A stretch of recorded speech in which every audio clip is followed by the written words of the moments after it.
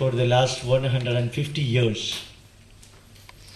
The modern science has contributed a lot for the development of our society, knowledge, physical and psychological comfort of human beings. But the one and a half centuries of modern science development has also contributed many negatives. Very recent discoveries, as you may be knowing, in the medical system we have got nearly 650 medicines, modern medicines. 80% of those medicines are known to have very serious side effects. And 20% of those medicines were thought that it's least carrying least side effect negatives. Now last year the Saridon, Anacin and Aspro, the constituent of that, scientists were analyzing and they found that one is absolutely free from side effects. Till last year they were believing that 100% free from side effect. But last year they found that the side effect of Saridon and Aspro will be coming out after 15 years. The negative deleterious effect of the, these component will be coming out after 15 years. So world over people are thinking to integrate all the positives of the modern science plus the positives of the heritage science so as to minimize the side effect of the modern science so as to reduce the deleterious effect of the modern science. That is the reason why right from 1992 or even I can say from 1990 onwards people started looking back. Then you are stretching your hand 180 degree in front of you you have got the knowledge accumulated with the modern science. Behind you 180 degrees there.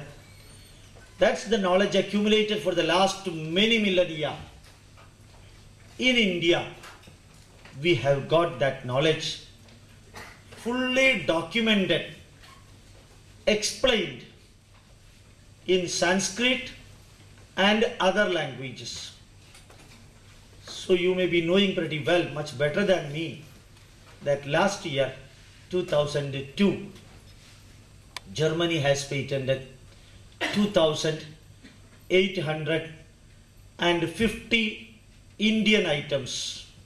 Germany alone in one year, 2,850 items. America, is said that they have patented 1.7 times of this number. Almost equal patents were filed by UK from Indian knowledge. All this what I am telling is from Indian knowledge.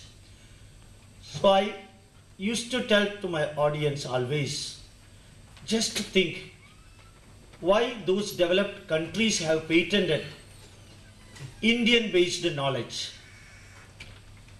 Perhaps they are realizing that there is a bundle of knowledge, treasury of knowledge available in India, which may be of use today or tomorrow for the society, directly or indirectly. That may be the reason why they are pretending it.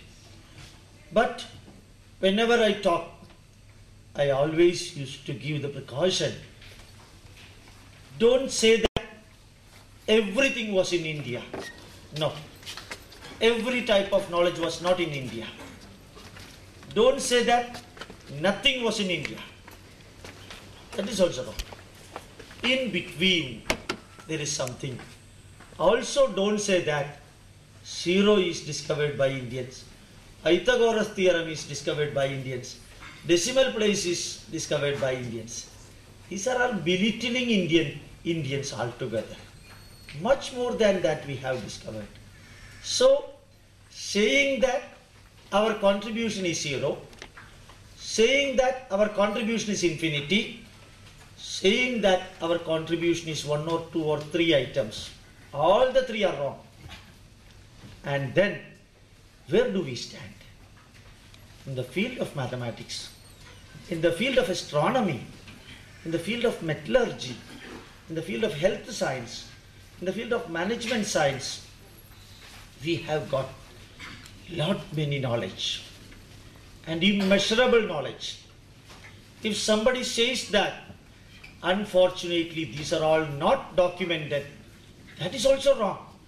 These are all systematically documented. The printed textbooks with English translation is available. That's the most important part of it. Many of the books which can cost now 500, 600 rupees, it is priced only 20, 25, 30 rupees. It's available now. In India, not also. So, the subject wise, learning, teaching, and propagating Indian scientific heritage, what the students can do, that is the topic. One most important thing, very systematically, with an unbiased approach, every student should learn it. Just a few examples. Aryabhatiya, one of the best book available. The book is available outside also. We have translated all the English versions available in audio cassettes, books, CDs, VCDs, and like that. None of these cassettes and book has got copyright. You can take any number of copy, you can sell it. With the profit, you can construct a house. I will come for inaugurating that. So, see that uh, knowledge is available here. And Aryabhatiya, one disadvantage it has got. If a student start learning Aryabhatiya, the first thing required, you should know Aryabhatiya number system. If you do not know Aryabhatiya number system, you cannot understand that.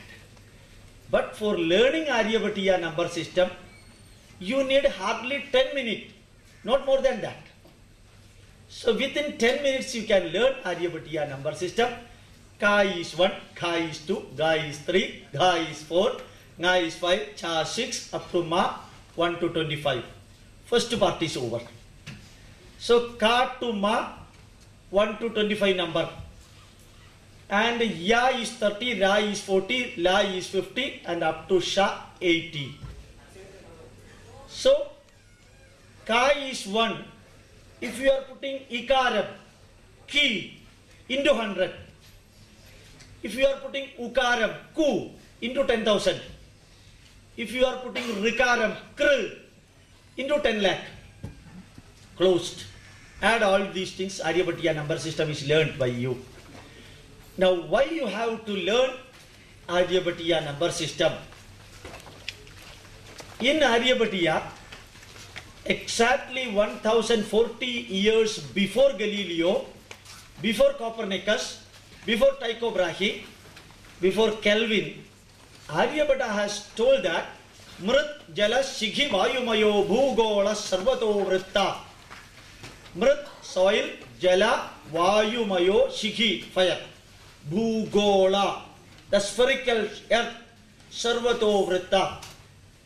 1000 years before Copernicus and Galileo Aryabhata has mention the spherical shape of earth but the credit has gone to Galileo and not only that Aryabhata has told Nila Bhuvyasa. The diameter of earth is 1050 yojana. Nila Bhuvyasa. But none of the Indians, except nine people, they do not know what is Nila. If you do not know what is Nila, you cannot make it 1050.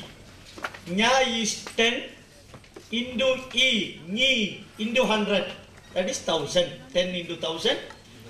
10 into 100, 1000.